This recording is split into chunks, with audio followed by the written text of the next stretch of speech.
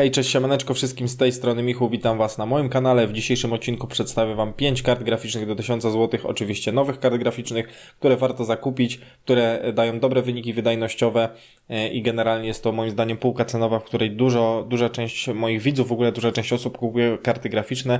No nie oszukujmy się, ale mało jest e, osób, które na przykład inwestują w kartę graficzną, może nie tyle mało, ale mniej jest dużo osób, które inwestują w karty graficzne powiedzmy po, e, po 1500 czy po 2000 złotych. Więc dzisiaj e, chylę czoła, że tak powiem, osobom, które kupują te tańsze karty graficzne.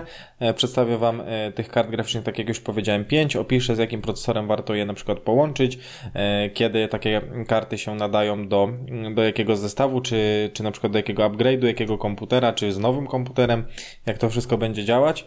No ale zanim jeszcze zaczniemy, to chciałbym Was serdecznie poprosić o subskrypcję tego kanału, zwłaszcza jeżeli jesteś nowy na tym kanale, bądź nie jesteś nowy, ale oglądasz ten kanał, a nie subskrybujesz, to proszę Cię, żebyś kliknął teraz subskrypcję, najlepiej też dzwoneczek, żeby być na bieżąco, bo ponad 89% osób oglądających mój kanał, e, e, moje filmy ogląda je bez subskrypcji, także bardzo bym Was prosił o tą subskrypcję oraz o wbijanie e, na Insta oraz na grupę na Facebooku, do, które, do której znajdziecie e, linki w opisie.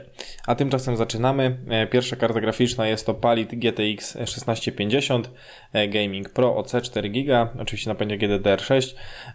GTX 650 jest najtańszą kartą w tym zestawieniu. Moim zdaniem bardzo fajny wybór, zwłaszcza dla osób, które poszukują jakiejś taniej karty graficznej, która wydajnościowo sobie daje fajnie radę i dzięki której będą mogli pograć Full HD na przyzwoitych detalach. Jeżeli chodzi o specyfikację tej karty, e, to mamy 80, 896 e, e, procesorów strumieniowych, 32 ropy, 56 RT, przepraszam, nie RT, tylko no, jednostek teksturujących, RT nie mamy, no bo to nie jest RTX, czyli ray tracingu, rdzeni tensor również tutaj nie uświadczymy.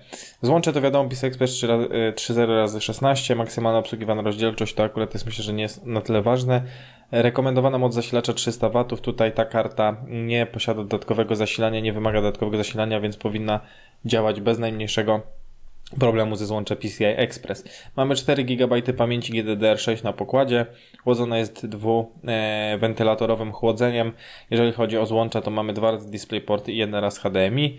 E, a nie, przepraszam, ta karta akurat wymaga złącza zasilania 6-pinowe. E, akurat ten dokładny model e, Gaming Pro od Palita. Natomiast są też wersje, bez problemu znajdziecie wersje, które tego złącza zasilania nie wymagają, jeżeli chodzi o 1650. Chociaż nie widzę tutaj na na zdjęciach, żeby ten, mm, to podłączenie to sześciopinowe było wymagane, aczkolwiek, no nie wiem, ciężko powiedzieć, bo jedno piszą, a drugie widać. Natomiast generalnie GTX 650 nie wymaga dodatkowego zasilania. Więc też jeżeli macie słabe zasilacze albo po prostu jakąś gotową już platformę, w której jest zasilacz, powiedzmy jakiś komputer od Della e, czy od HP, coś takiego i potrzebujecie, nie, znaczy nie, nie możecie za bardzo wymienić zasilacza, a potrzebujecie karty graficznej, która nie będzie pobierała dużo prądu, to warto celować w 1650. Także bardzo dobra karta w Full HD sobie radzi e, dobrze. Większość gier pociągnie na bardzo wysokich ustawieniach, niektóre nawet na ultra e, w powyżej przynajmniej 40 klatek na sekundę. Następna karta to jest już wszystkim bardzo dobrze znany Radeon RX 570, którego polecałem nieraz, którego sam posiadam, który również jest e, bardzo często polecany na rynku wtórnym do zakupienia, używany przeze mnie i nie tylko, przez innych również youtuberów oraz osoby, które znają się na sprzęcie. W tym przypadku jest to najtańsza wersja od Power Colora Radeon Red Dragon 4 GB. Jest też wersja 8 GB, natomiast e, jeżeli chodzi o wersję 8 GB, to raczej celowałbym tutaj w RX 580, którego akurat w tym zestawieniu nie ma, bo się po prostu nie zmieścił. E, także jeżeli chodzi o tą kartę, to najpierw przeczytajmy sobie e, pokrótce specyfikację. Zaraz Wam sam posiadam RX 570, więc zaraz Wam opowiem co i jak. Taktowanie rdzenia na poziomie 1168 MHz w trybie boost do 1250. E, procesorów strumieniowych mamy 2048, czyli jest spora różnica w porównaniu do 1650. 32 ropy, 128 jednostek teksturujących, no i wiadomo rdzenia RT tensor nie ma. Możliwość Crossfire, mm, rekomendowana moc zasilacza to 450, 450 W, przepraszam, natomiast bez problemu przy 400C będzie ta karta działała, ona też nie jest jakaś bardzo prądożerna. Szyna 256 bit, 4 GB, tutaj już akurat GDDR5. E, złącze zasilania 8-pinowe, to, się, to by się zgadzało, bo i u mnie jest 8-pinowe złącze zasilania. E, jeżeli chodzi o wyjścia, to w tym przypadku mamy jeden DisplayPort, jeden DVI, jeden HDMI. U mnie jest chyba jeden czekajcie, DVI na pewno jest jedno i są trzy chyba DisplayPorty i jedno HDMI, jakoś tak. Także mm, e, w przypadku mojego Gigabajta tak to wygląda. Tutaj jest to Power Color, więc jeżeli ktoś chce więcej złączyć, to musi zainwestować raczej w Gigabajta. No jeżeli chodzi o tą kartę, to ja jestem niedzielnym graczem, więc mi wystarcza w zupełności, chociaż z chęcią bym przytulił jakiegoś GTX 1070 czy coś takiego, czy nawet GTX 1660, ale w sumie po co mi to, jak ja praktycznie nie gram. Pogram sobie czasu do czasu w Call of Duty Warzone e, albo w Meti na dwójkę i tak na dobrą sprawę to jest tyle z mojego grania. E, no i co? Grałem sobie bez problemu na niej Fortnite, kiedyś jeszcze grałem sobie w GTA 5, grałem sobie w Battlefield 1, w Warzone sobie gram i tak dalej, bez problemu ta karta sobie daje radę. W większości gier na bardzo wysokich ustawieniach czy Ultra te 50-60 klatek powinniście mieć. Oczywiście mówię tylko o rozdzielczości Full HD. E, Wiedźmin trójka, no to tutaj na tej karcie chodzi e, chyba, chyba na ultra, ale macie tutaj ponad 30 klatek na sekundę, więc nie jest to jakoś bardzo płynnie. Natomiast na ultra grać się da. Pamiętajcie oczywiście o tym, że Hairworksy i tak dalej są na off. E, następna karta graficzna, bardzo dobry konkurent RX 580, nawet trochę lepsza karta niż RX 580, jest to GTX 1650 Super w wersji 4 GB bo tylko taki niestety występował chyba. GDDR6 pamięci, jak najbardziej, również jak w przypadku GTX 1650, bardzo ładna wersja od Gigabajta, podobna troszkę do mojego RX 570. Tutaj jeżeli chodzi o wyjścia, to mamy DVI, HDMI oraz DisplayPorta jednego, także też tych wyjść nie jest zbyt bogato, no ale są to tanie karty, więc nie ma co oczekiwać nie wiadomo czego. Tutaj mamy jedno podłączenie 6-pinowe, w przypadku Superki te 6-pinowe połączenia chyba występują, także na to też zwracajcie uwagę, jeżeli chcecie coś, co nie pobiera prądu, to tylko GTX 1650 no i zwracać uwagę na e, to, co się e, kupuje, bo też może być tak, że właśnie niektóre z tych kart mają e, niektóre z tych kart mają te po prostu złącza do zasilania dodatkowe.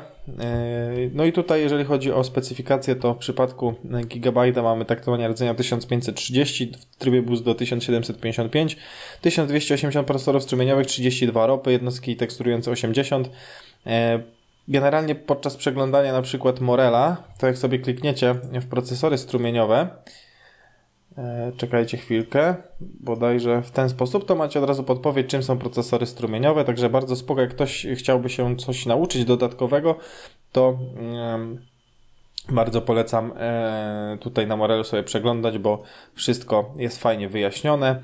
E, także generalnie mogę polecić. No i wszystkie linki do tych kart graficznych znajdziecie w opisie e, w moj, pod, e, pod tym filmem, także zachęcam do kupowania z moich linków, bo dzięki temu, że wy kupicie sobie kartę, ja dostanę parę groszy, to jest takie moje wsparcie kanału, wy nic na, na tym nie tracicie, a ja troszkę mogę zyskać, także jest mi niezmiernie miło.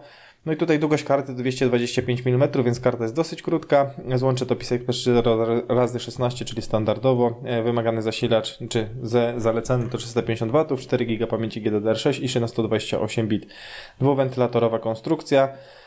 Tutaj też możecie sobie przeczytać opinię użytkowników ASIH 46, jeżeli chodzi o tą wersję. Także tutaj gościu pisze, że zalety wydajność i cicha praca. Eee, na przykład Tutaj gościu pije, grzeje, pisze, grzeje się, chodzi jak ciągnik, ale daje radę i to bardzo dobrze. Nie wydaje mi się, żeby to była prawda, jeżeli chodzi o e, to grzanie się, bo te karty zbytnio się raczej nie grzeją, przynajmniej do mnie takie słuchy nie dochodziły. E, karta jest dobra e, i naprawdę wydajność jest świetna. Tutaj już przy, w przypadku tej karty to powinno większość gierek być ogarnianych na ultra w Full HD przy naprawdę przyzwoitym FPS-ie. Następna karta jest to RX 5500 XT. Tutaj już wersja 8 GB na pamięci GDDR6, 8 gigowa. Jak wiecie, ja bardzo lubię Safire'a, dlatego też tutaj na postawiłem. E, moim zdaniem bardzo ładna karta, chociaż do tych pięknych kart, na przykład z serii jeszcze e, RX 580 i trochę im daleko, bo dopiero przy RX-ach 5600 XT, 5700 XT to te kolorki były ładniejsze. No jeżeli chodzi o tą kartę, to jest to e, w sumie konkurent dla GTX 1660, można powiedzieć, bo niewiele od niego odbiega wydajnościowo, a jest parę złotych tańszy. No jeżeli chodzi o tego RX-a, to ze specyfikacji możemy się dowiedzieć, że tych jednostek tych, procesorów strumieniowych mamy aż 1408, taktowanie rdzenia do 1685, a w trybie boost do 1845. Tylko od razu powiem, nie porównujcie sobie na przykład taktowania rdzenia RX-a 5500 XT na przykład do taktowania rdzenia y, gdzieś tam powiedzmy RTX-a 2080, który ma, przypuśćmy, bo mówię teraz to tak całkiem przypadkowo, przykładowo, y, powiedzmy 1800 MHz, więc nie liczcie, że y, jest tam parę MHz macie więcej na RTX RTX i on jest dużo szybszy, bo też się spotkałem z takimi osobami, które się nie znają i właśnie porównują to w ten sposób, a nie powinno się tego robić, bo to nie ma e, w ogóle żadnego sensu. No jeżeli chodzi o te procesory strumieniowe, tutaj mamy 1408, chyba jest to ilość, o ile dobrze pamiętam, największa spośród wszystkich kart, które do tej pory oglądaliśmy. E, jednostki ROP, no tutaj standard 32 to jest ta półka cenowa, gdzie tych jednostek aż tak dużo nie spotkacie. E, teksturujących mam 88, RT Tensor to wiadomo. E, tutaj zalecany już 450 W, 8 GB pamięci GDDR6, dwa wentylatory, 3 DisplayPorty, jedno HDMI, to również bardzo podobnie jak w przypadku mojego RX 570. No tutaj piszą, że sprawdza się i tak dalej, to można sobie opinię poczytać na Google. Możecie oczywiście też celować w tańsze wersje tej karty, na przykład w Gigabyte, że coś takiego, które kosztują nawet po 800 parę złotych, więc tutaj ja pokazuję przykładowe karty, które mi się bardzo spodobały i do których dam link w opisie, ale nie musicie koniecznie ich kupować. No już na RX 5500 XT możecie mm, śmiało liczyć na Full HD na 50-60 klatek w praktycznie każdym tytule na Ultra i myślę, że to nie powinno być żadnym problemem. RX-y generalnie tej nowej serii 5500, 600 i tak dalej miały problemy ze sterownikami, ale zostało to już zażegnane, więc coraz to nowsze sterowniki przynoszą tylko usprawnienia wydajności Także myślę, że można śmiało takiego RX-a polecić. No i na sam koniec truskawka na torcie, jak to się mówi, GTX 1660 Gaming OC 6 GB GDDR5.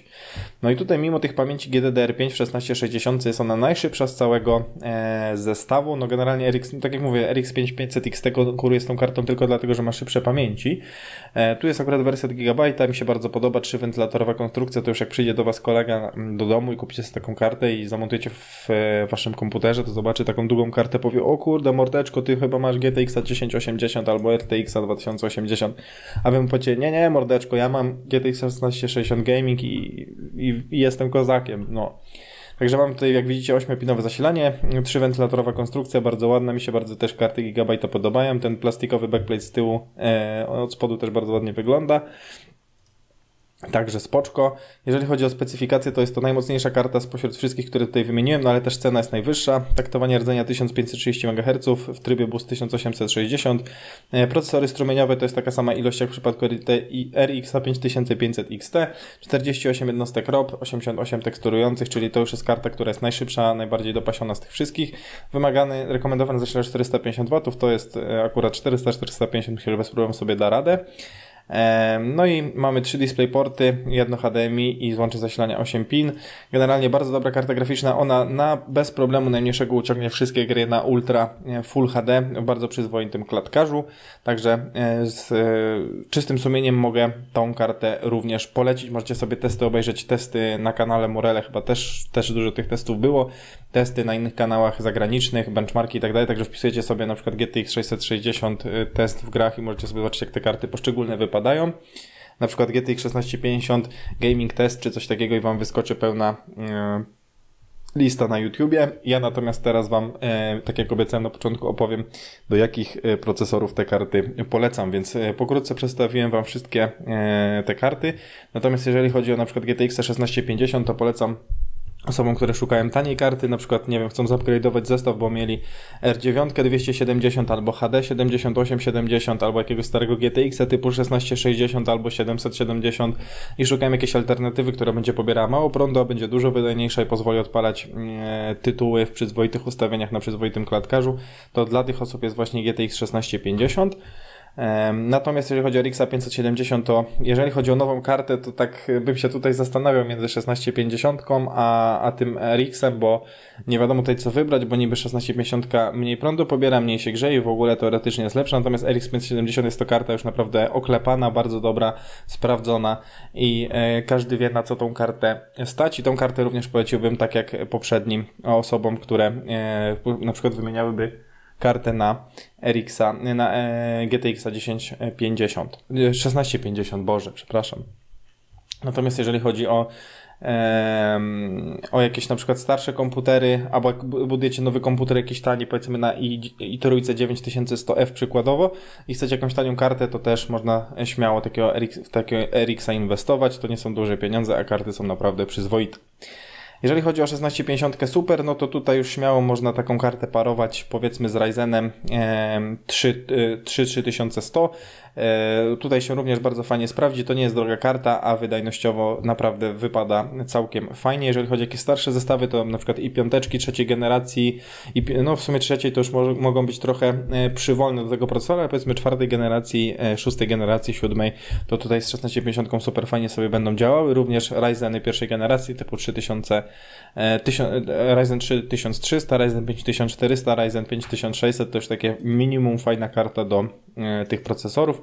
Ja na przykład mam swoim 1600X RX 570, no i tak jak mówiłem wcześniej, nie narzekam, bo nie jest to jakiś, e, jakaś zła karta, a ja jestem niedzielnym graczem, więc tak to wygląda. Jeżeli chodzi o RX 5500 XT, no i w sumie razem GTX 1660, bo one się nie dużo różnią, to możecie śmiało pakować je do zestawów na przykład za 3000 zł, gdzie procesorem jest na przykład Ryzen 52600 e, czy Ryzen 1600X, czy na przykład Ryzen nawet 3600, to tutaj nie ma najmniejszego problemu, czy na przykład i piąteczka dziewiątej generacji, czy dziesiątej generacji, e, czy też i trójeczka, czy nawet czasem e, i siódemka, chociaż tutaj już wiadomo, że jak się ma i siódemkę, to i się ma mocniejszą kartę graficzną, także tak bym to widział.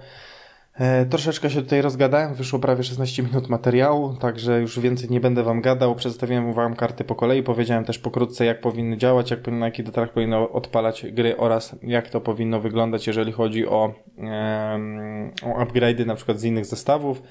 E, no i co? I to by było na tyle z mojej strony. Jeżeli Wam się podobało, to zostawcie opeczkę w górę. Jak macie jakieś pytania, to piszcie w komentarzach, z chęcią Wam odpowiem. Subskrybujcie mój kanał, tak jak już powiedziałem, bo 89% osób oglądających moje filmy jest tutaj bez subskrypcji. Ja chciałbym, żebyście teraz wszyscy zasubskrybowali. To momentalnie wbijemy te 12 tysięcy subskrypcji, jak nie więcej, za co będę Wam naprawdę bardzo wdzięczny, więc klikajcie, też kliknijcie w dzwona, będzie mi miło oraz mijajcie na Instagrama e, michu.tv oraz na mordeczki Micha Grupę moją na Facebooku, gdzie e, gadamy o kompach, ja wrzucam nowe filmy, pomagamy Wam składać zestawy, rozwiązywać problemy i tak dalej. Wszystkie linki w opisie oraz linki do kart graficznych również w opisie. Dzięki za oglądanie, trzymajcie się, hej!